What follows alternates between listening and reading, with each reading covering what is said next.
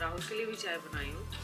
कल रात में यहाँ पे माइनस थ्री डिग्री सेल्सियस था। वो तो अच्छी बात ये थी कि हमारे बेड में वो होम रूम हीटर जो होता ना, उसका कुछ कनेक्शन किया हुआ है तो बहुत गर्म था बेड थोड़ी बहुत तो नींद आई।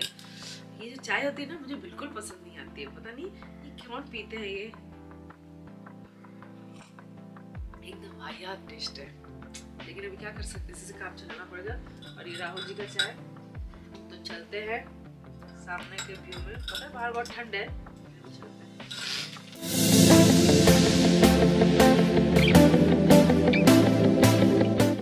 बहुत ज़्यादा ठंड है यहाँ पे।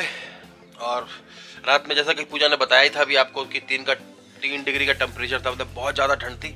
हालत बहुत ख़राब हो रही थी और मैं तो सच बताऊँ, मैं तो अपनी कैप पहन के सो गया था।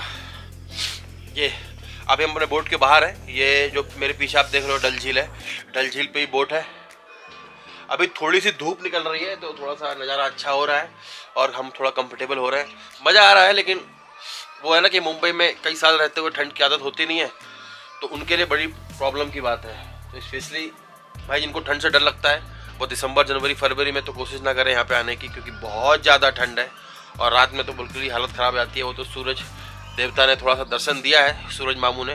तो थोड़ा सा रिलैक्स हुआ कि चलो ठीक है अभी शाम तक मौसम बढ़िया रहेगा। वरना मुझे लग रहा था कि आज मेरी हालत ख़राब होने वाली है। ये देखिए ये भाई साहब टोपे के संग बैठी हुई हैं। ये अपना क्या बना रही हो तुम? रील रील बना रही है। यहाँ हमारी रेल बनी पड़ी है ये रील बना रही है। नाश्ता हमारा रेडी हो गया है और नाश्ते के लिए जा रहे हैं हम लोग।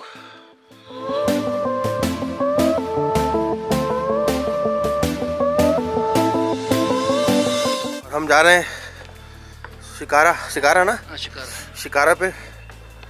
और ये शिकारी पहले बैठी हुई है यहाँ पे। ये देखिए। अब महारानी की तरह यहाँ बैठी है। वैसे हमारा कश्मीर इडली से कम है के अभी एक घंटे का हमारा शिकारा राइड है। एक घंटे हम डल लेक में घूमने वाले हैं।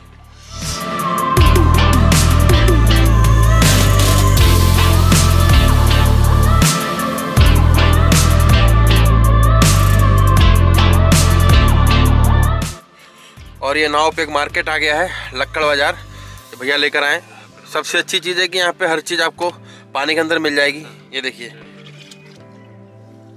पूरा सामान है इनके पास, लकड़ियों का। चारों तरफ़ जो है, यहाँ पे बोट बनी हुई है छोटी छोटी छोटी छोटी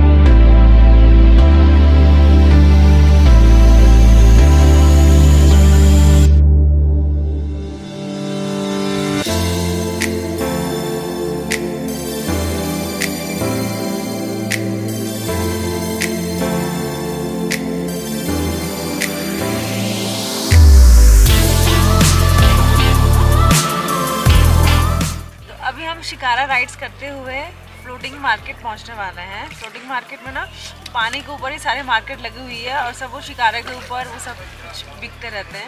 तो वही हम मार्केट जाने वाले हैं। और अगर कुछ अच्छा लगे तो खरीदेंगे। वरना नहीं खरीदेंगे, सिर्फ़ देख के आ जाएँगे।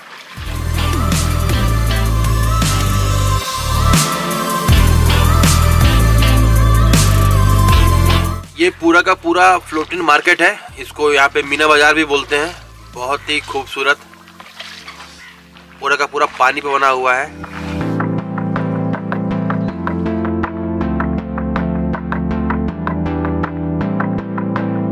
और मैंने भारी मात्रा में राहुल के पैसे बचा दिए हैं क्योंकि मेरी फेवरेट जगह इटली और पेरिस है। और इटली बिल्कुल ऐसा ही है पानी के ऊपर है।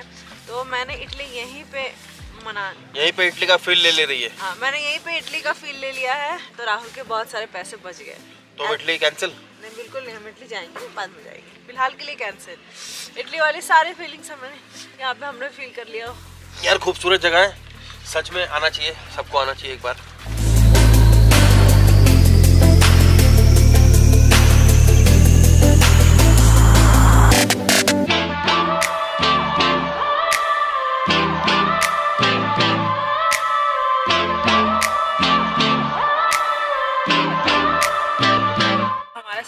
राइड खत्म होने वाला है। जबकि हम चाहते हैं कि और होता रहे होता रहे लेकिन ठंड में ना हाथ और जम गई है। और हमारे जो टूर गाइड हैं इस झील के शिकारा के वो है मोहम्मद सफ़ी जी। ये देखिए। का नाम है गोल्डन वैली इस शिकारा का नाम है गोल्डन वैली और इन्होंने बहुत अच्छे से हमें घुमाया और सारी चीज़ों की जानकारी दी मार्केट के बारे में बताया और क्या क्या चीज़ें हैं। अंदर क्या क्या चीज़ें हैं वो भी हाँ। बताया इन्होंने। तो काफ़ी इंजॉय हुआ इनके साथ में।